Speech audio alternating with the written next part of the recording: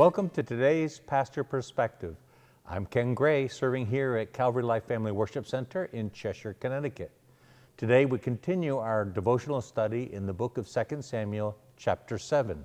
I'm going to begin reading with verse 18. Then David the king went in and sat down before the Lord, and he said, Who am I, O Lord God, and what is my house that you have brought me this far? In the previous section of this chapter, David had presented Nathaniel, the, Nathan the prophet with an idea, a good idea, but it was not God's idea. And David was focused at that time more on his own thinking and planning. But God shifted all of that, and God said, No, David, you're not going to build a house for me. I'm going to build a house for you. And so David is now uh, presenting himself before the Lord in prayer. But notice what we read in that, that it says, the, the David, then David the king went in and sat before the Lord. We would be far more, uh, what is the word? Profitable in our works if we were doing it as a consequence of setting before the Lord than setting around thinking with our own mind. And David here, as, as he sets before the Lord, he is humbled by God's presence. It says in verse 19, and yet this was insignificant in your eyes, O Lord God, for you have spoken also of the house of your servant concerning the distant future. And this is the custom of man, O Lord God. Again, what more can David say to you? For you know your servant, O Lord God, for the sake of your word and according to your own heart, you have done all this greatness to let your servant know. For this reason, you are great, O Lord. There is none like you, and there is no God beside you, according to all that we have heard with our ears. David, when he comes before the Lord after having received the prophetic word and he humbly prays, he's acknowledging God in all of his greatness. He realizes nothing that he's enjoying at the moment is a result of his own efforts. It's a result of the favor of God and the presence of God that has been on his life. And then he goes on to thank God not only for what he's doing in his own personal life, but what he's doing with the entire nation of Israel, the church of God at that time, you might say. It says here, for in verse 24, for you have established for yourself your people Israel as your own people forever, and you, O Lord, have become their God. Now, therefore, O Lord God, the word that you have spoken concerning your servant and his house, confirm it forever and do so as you have spoken, that your name may be magnified forever by saying, The Lord of hosts is God over Israel, and may the house of your servant David be established before you.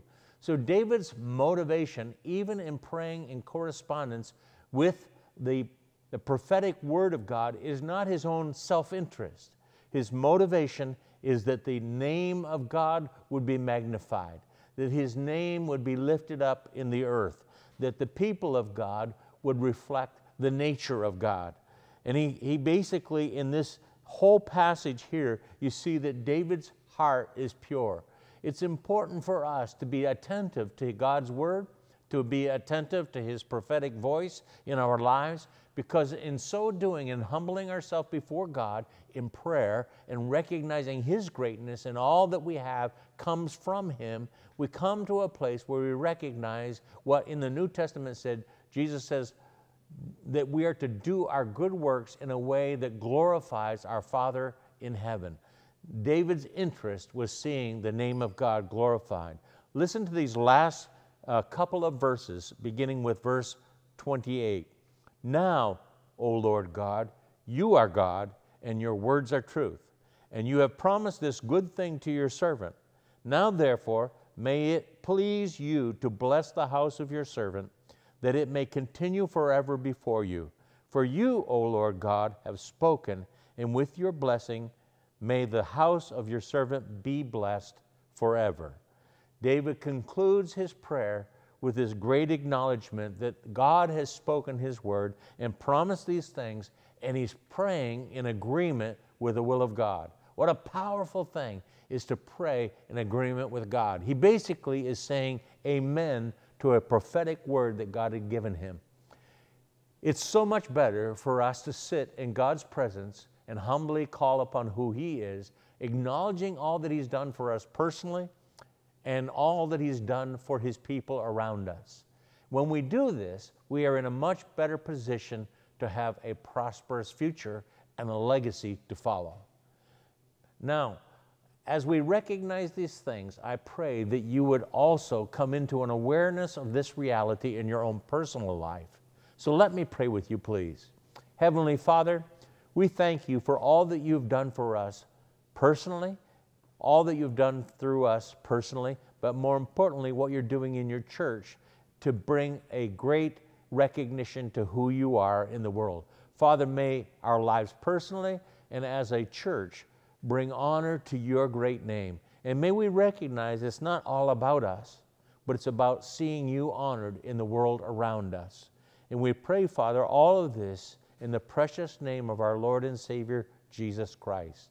Amen.